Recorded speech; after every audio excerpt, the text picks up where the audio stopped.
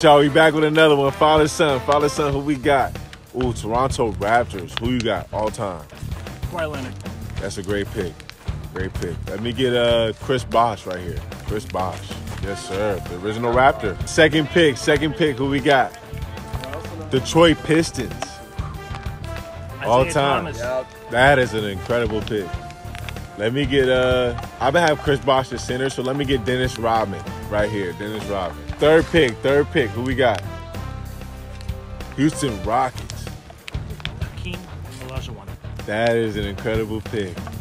Let me get Tracy McGrady right here. T Mac. Uh huh. Yeah. Two more picks left. Two more. Who we got? Who we got? Dallas Mavericks. I am gonna go with Luca Luka Doncic. Doncic. Okay, that's a great pick, man. I'm gonna go Steve Nash right here. I'm gonna go Steve Nash.